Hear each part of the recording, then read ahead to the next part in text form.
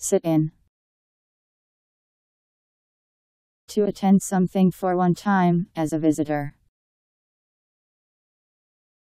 S I T I N. Sit in.